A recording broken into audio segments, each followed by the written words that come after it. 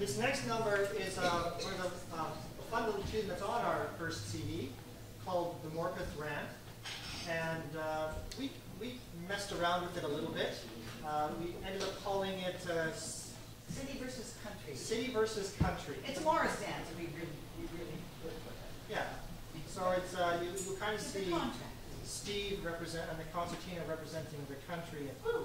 Brenda and her violin representing the city.